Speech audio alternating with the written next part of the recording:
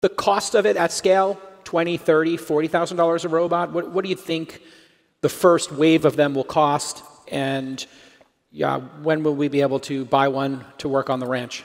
I think that the, the marginal cost of production, once you hit a million units per year, uh, is probably around the $20,000 range.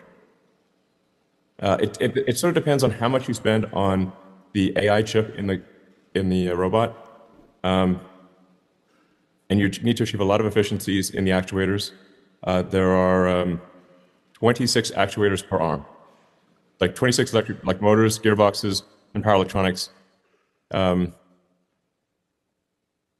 so, so but, but the, the, the, the AI chip will be pretty expensive. Like that, that might be like five, five or six thousand dollars of the of the bill of materials, maybe more. Um, and um, but but so I but I think at volume, at a million units a year, the the production cost is probably on the order of twenty thousand dollars, maybe twenty five, something like that. And um, price will be as a function of demand.